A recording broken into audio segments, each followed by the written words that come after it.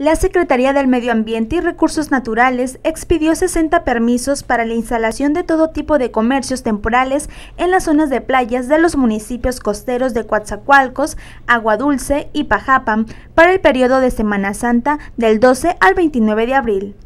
¿Cuáles son los principales giros? Bueno, pues es venta de alimentos, cerveza, venta de pizza, venta de este, antojitos, refrescos eh, alquiler de, de portátiles, etcétera, ¿no? Detalló que en coordinación con los ayuntamientos locales y personal de la Procuraduría Federal de Protección al Ambiente, realizarán inspecciones en los sitios asignados y se verificará que vendan los productos señalados dentro de sus respectivos permisos. Cabe destacar que a pocos días de las vacaciones de Semana Santa, Turistas de otros estados de la República Mexicana que ya se encuentran visitando Coatzacoalcos aseguraron que la inseguridad no es un factor que les impida conocer las playas de la ciudad.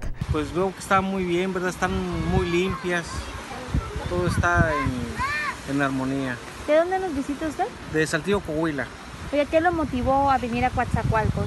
Pues que me han hablado que es un lugar eh, hermoso, ¿verdad?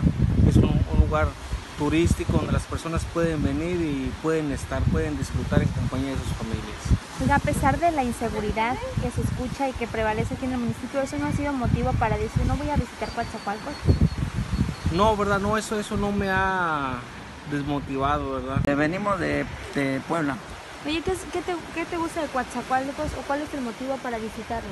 Pues Coatzacoalcos es muy bonito por la playa, por su este, comida, este, está de paso, eh, digamos, nosotros vamos a estar rumbo a Campeche, pero checamos este, en el internet y Coatzacoalco es un lugar muy bonito para visitar.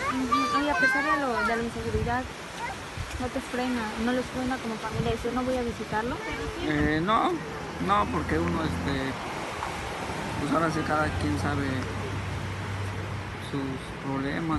Con imágenes de Alberto Ramos, Amairani Abad, imagen del Golfo.